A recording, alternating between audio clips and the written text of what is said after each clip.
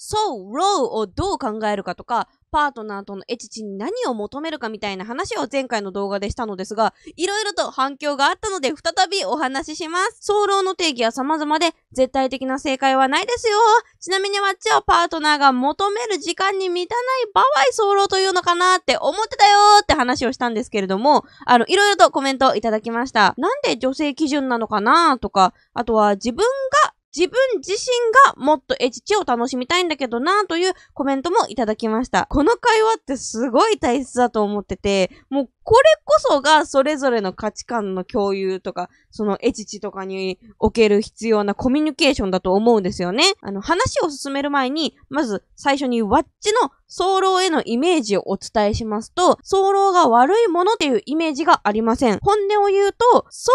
漏って名付けた瞬間になんかこう、ことさら悪い症状みたいに感じちゃうなぁと思ってて、それは別に病気とか異常事態ではなく、ただ早く射精しているだけだなぁって感じるタイプです。そんなわちが、強いて言うならこれは早漏と言えるのではないかと思っていたのが、相手が求める時間に満たない場合でした。で、これは女性の快感を基準にするべきとか、女性の快感を満たすべきとか、そういうことじゃなく、むしろ相手もあの女性に限定するつもりもなかったんで、シンプルに相手っていう言い方をしておりました。で、なんでそう思ったのかっていうと、ワッチ自身が相手が気持ちよければ満足するというエチチ感の持ち主だからです。だから、ワッチという個人の視点からこう、パッと想像したのが、相手基準のものになったんですね。ワッチ自身性欲はもちろんあるんですけれども、あのー、長年ご自愛をやっておりまして、自分の性欲は自分が一番うまく破産させられるんですよね。だから、ただ性欲をどうにかしたいならもうサクッとね、ご自愛して寝ちゃった方がね、いいんです。そっちの方が早いし確実なので。で、そんなワッチがわざわざエチチをするときっていうのは、もうスキンシップの一環なんですよね。その第一目標が達するっていうところじゃなくて、触れ合うが第一目標なんですよ。でも、最初からそういう価値観だったかというと、そうじゃなくて、もう最初はとにかく、ご子息を挿入して、ズバズバズバズバ、オラオラオラオラって、こう、摩擦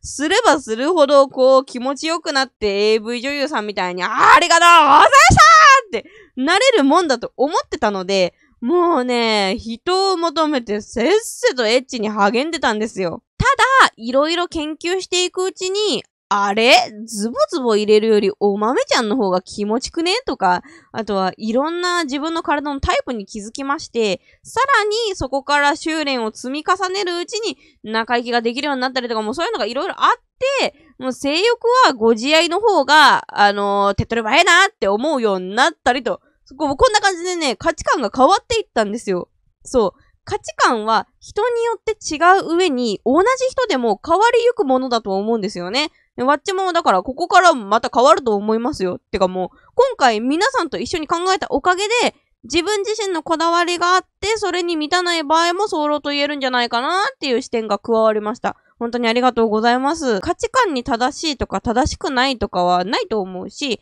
あとは他人がね、勝手にこう外から見てわかるものとかジャッジできるものでもないと思うんですよね。だけど、いろんな価値観の人がいるっていうのをそもそも知らないと、こう、どうしてもね、自分の価値観だけで相手が求めるものとかを、もうこれに違いないたくさんズコ箱してほしいに違いないってもうそれはね、思、思うんですよ、やっぱり。だから、あの、今回のコメントみたいに自分はこう思ってるよとか、こういう考え方をしてるよっていうのをね、ぜひ、パートナーともお話ししてみてほしいんです。で、パートナーがいないよっていう方は、今のうちに自分はエチチに何を期待しているのかとか、えー、自分のご子息はどこを刺激すると気持ちよくて、どこを刺激した時に気持ちよくないのかっていうのをよく研究してみてください。これは女性も同じくで、えー、自分のね、性感帯どこかなとか探すのとっても大切です。きっと役に立ちます。ちなみに、治療についても基本的な向き合い方はこれと同じで、相手がどうしたいのかとか自分がどうしたいのかっていうのを考えて話し合うことが大切だと思っているんですけれども、その、やっぱりね、あの、強いご自愛のやりすぎとかで、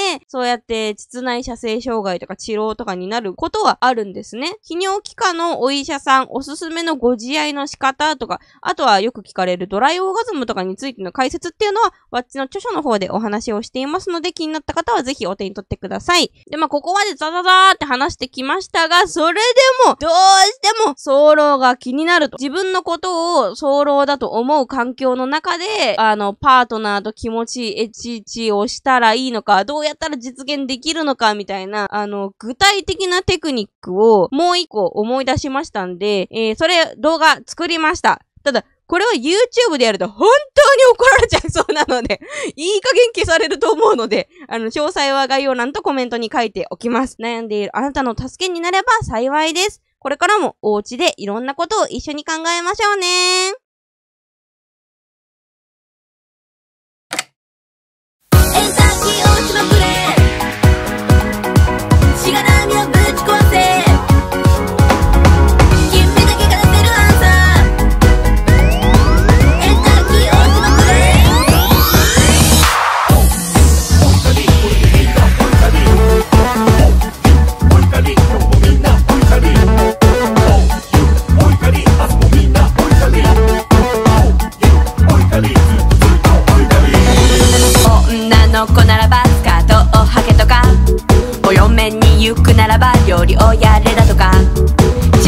ちらこちらで普通が作られてて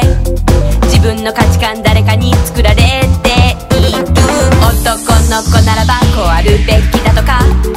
長男ならしっかりしろとか言われても困るしネットじゃあちらこちらで言葉がぶつかってて自分の価値観ばかりを押し付け